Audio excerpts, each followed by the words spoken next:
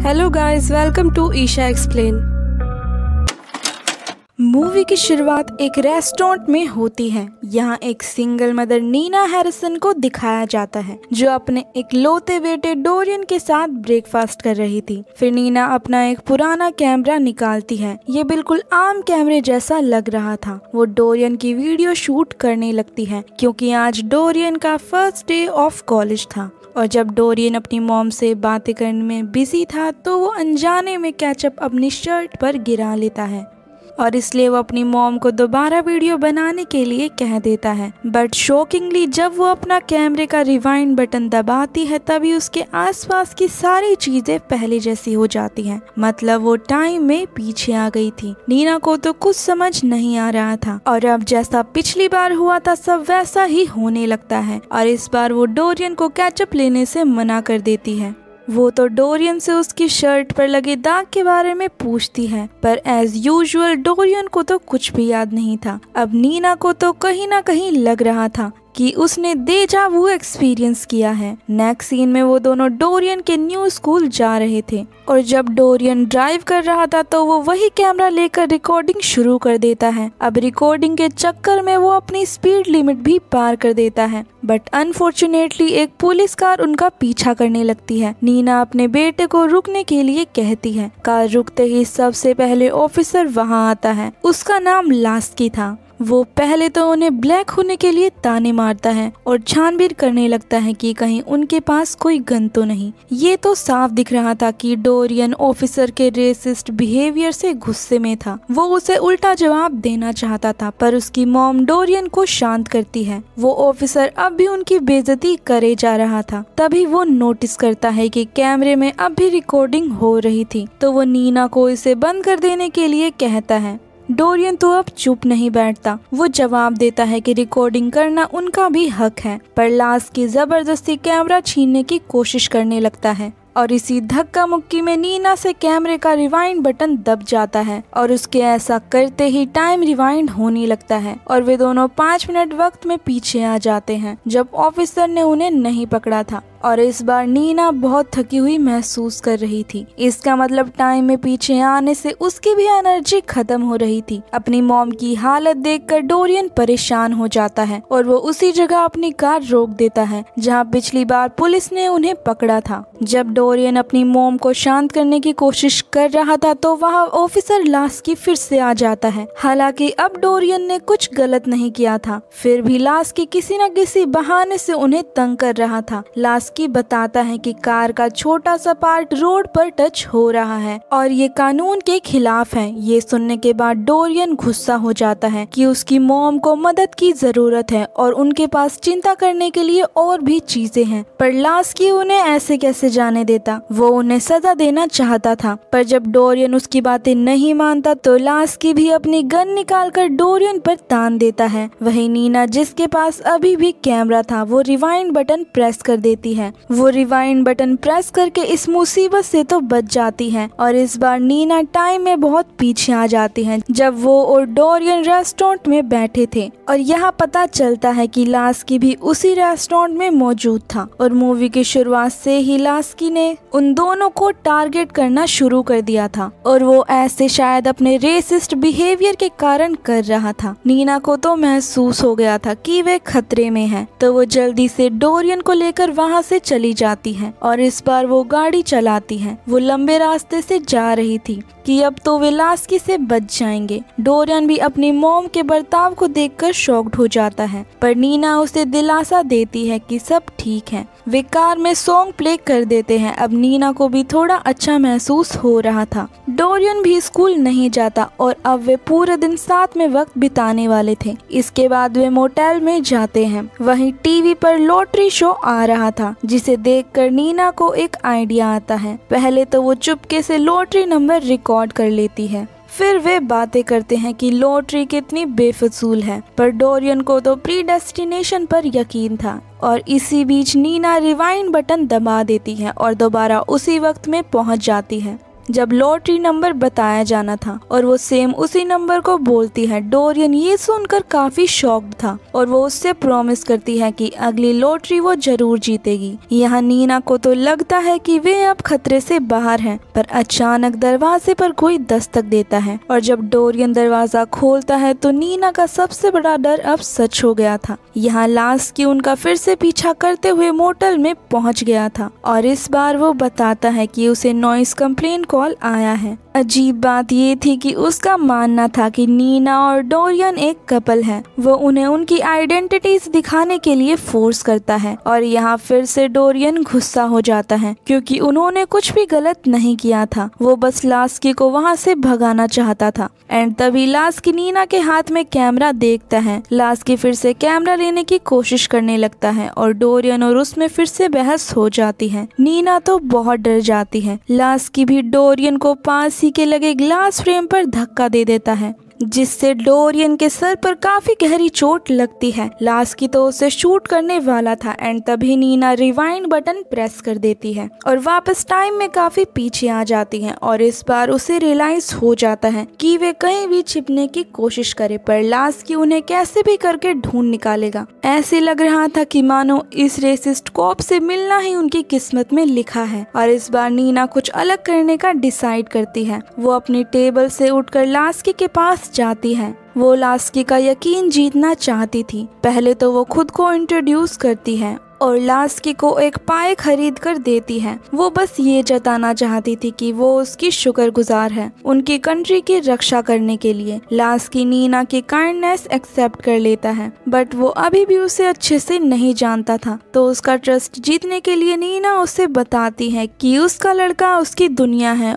और वो आज पहली बार कॉलेज जाने वाला है और फिर नीना अपनी फैमिली के बारे में बताती है। ऑफिसर भी इमोशनल होकर नीना को बताता है कि उसकी वाइफ कुछ सालों पहले गुजर चुकी है और जब से उसकी ज़िंदगी काफ़ी मुश्किल हो गई है। ये सब बताने के बाद लास की नीना का थैंक्स करता है और वहाँ से चला जाता है। बट नीना के जाने से पहले नीना देखती है कि लास की उसकी कार के पास खड़ा था। वो नीना से पूछता है कि ये कार उसने खुद खरीदी है या नहीं। नीना जवाब देती है कि उसने इसके लिए बहुत मेहनत की है बट लास्ट की उसे कार के रजिस्ट्रेशन पेपर दिखाने के लिए कहता है। ये सुनते ही नीना बहुत गुस्सा हो जाती है और उस पर चिल्लाना शुरू कर देती है कि उसे कोई पेपर्स दिखाने की ज़रूरत नहीं है। डोरियन अपनी मदर को शांत करने की कोशिश कर रहा था, पर नीना तो किसी की नहीं सुनना चाहती थी। कोई चारा ना बचने पर वो कार के अंदर अपना फ़ोन लेने जाता है, जिसमें उसने रजिस्ट्रेशन पेपर्स की पिक्चर क्लिक की थी।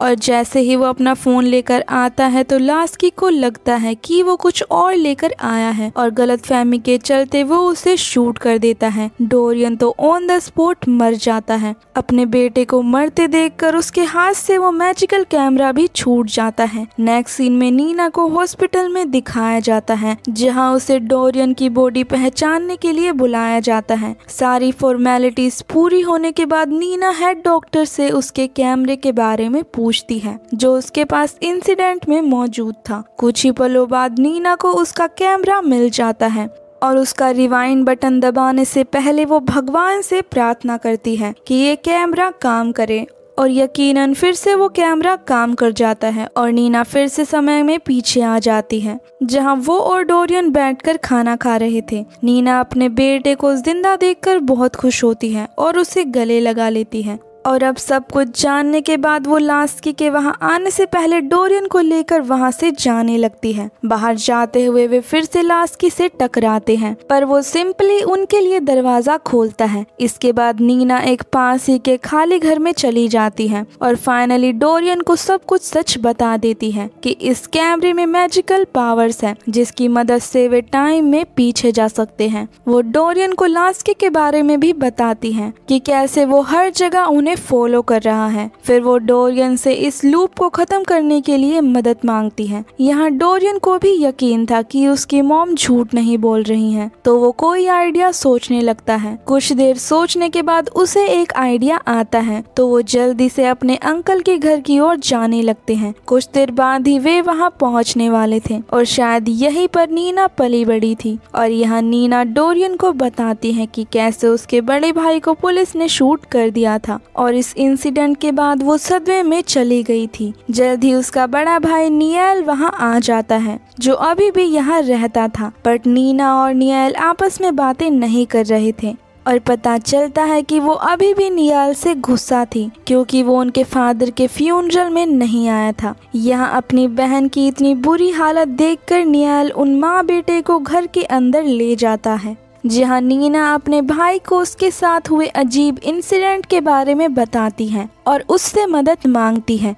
यहाँ नीना नियल को सब कुछ अच्छे से समझाने की कोशिश कर रही थी कि वो झूठ नहीं बोल रही है। बट सरप्राइजिंगली नियल उसकी हर एक बात पर पूरा यकीन करता है और यहाँ पता चलता है कि असल में ये कैमरा उनके फादर का था, जो उन्होंने मरने से पहले नीना को दे दिया था। यहाँ तक कि नियल बताता है कि उनके फादर हमेशा इस तरह के मैजिक की कहानी सुनाया करते थे। प्लस उन्होंने मुसीबतों से खुद को बचाने के लिए काफ़ी बार इस कैमरे का इस्तेमाल किया था। अब इतनी बातें आपस में करने के बाद वे दोनों भाई बहन हक करते हैं और उस रात वे तीनों कोई प्लान बनाने लगते हैं जिससे वे लास्की को रोक सके। नियल तभी सजेस्ट करता है कि उन्हें डोरियन के कॉलेज जाना चाहिए, क्योंकि ये ही अकेली ऐसी जगह थी जहाँ लोग उनकी मदद कर सकते थे। और पता चलता है कि डोरियन ने ऑल ब्लैक कॉलेज में एडमिशन लिया था। और अगर वहाँ की ने कुछ गलत किया तो दूसरे लोग उनकी मदद करेंगे। पर पहले उन्हें उसी रास्ते से वापस जाना होगा। पर ये बहुत खतरनाक था। तो इसलिए नियाल एक शॉर्टकट रूट बताता है, जिससे वे किसी की भी नज़रों में आए बिना कॉलेज तक पहुँच जाएँगे। उसके पास एक पर्सनल ब्लूप्रिंट था, जो इन कुछ सालों में उसने खुद बनाया था। अगले सीन में नियाल उन्हें एक अंडरग्राउंड टनल में ले जाता है। और नियाल का मानना था कि ये टनल काफ़ी सालों पहले एक माइनिंग बेस के तौर पर काम में लाई जाती थी। रास्ते में जाते हुए नीना और नियाल अपने बचपन की काफ़ी बातें करते हैं। अब कुछ ही देर बाद वे टनल से बाहर आ जाते हैं। यहाँ से कॉलेज बिल्कुल पास ही था। डोरियन तो सारे स्टूडेंट्स को देखकर बहुत खुश होता है। उसे तो सबर नहीं हो रहा था कि वो दूसरों से इंटरेक्ट करे। फिर वे तीनों कॉलेज के एंट्रेंस की तरफ़ जाने लगते हैं। बट तभी अचानक से वहाँ लाश किया जाता है कि वे टनल में क्या कर रहे थे। नीना डर के मारे डोरियन को लेकर वहाँ से जाने लगती है। पर लाश की तो अपनी गन निकाल कर उन पर तान देता है। ये देख देखकर नियल ऑफिसर के सामने आ जाता है और उसे गोली चलाने के लिए बोलता है। सेम टाइम पर दूसरे ऑफिसर्स भी गन के साथ वहीं पहुँच जाते हैं। इनजस्टिस और भेदभाव से तंग आकर नीना अपना कैमरा उठाती है और ऑफिसर्स की रिकॉर्डिंग करने लगती है। डोरियन तो नीना को रिवाइंड बटन दबाने के लिए कहता है, पर इस बार वो ऐसा नहीं करती।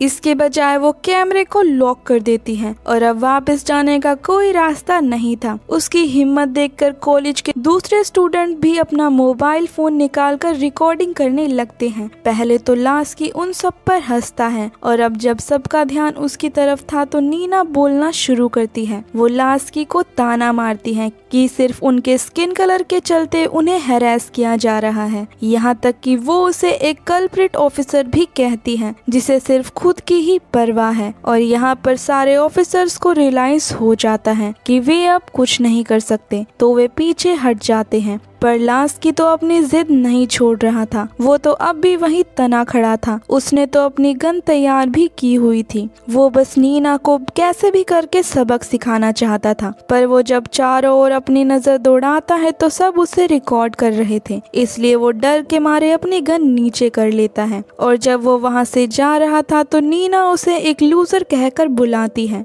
और अब फाइनली नियल और कुछ स्टूडेंट्स की मदद से नीना इस लूप को खत्म कर देती है। अब सीन कट होकर कुछ सालों बाद का दिखाया जाता है, जहाँ डोरियन अब एक फादर बन चुका है और उसकी लाइफ बिल्कुल अच्छी चल रही थी। वो अपनी डॉटर के साथ खेल रहा था और नीना उसी सेम कैमरे से ये हैप्पी मोमेंट रिकॉर्ड कर रही थी और तभी वो छोटी लड़की कैमरा लेकर उसे गिरा देती है, जिससे कैमरे के टुकड़े टुकड़े हो जाते हैं। नीना के तो होश उड़ गए थे तो वो जल्दी से सारे टुकड़े समेटने लगती है।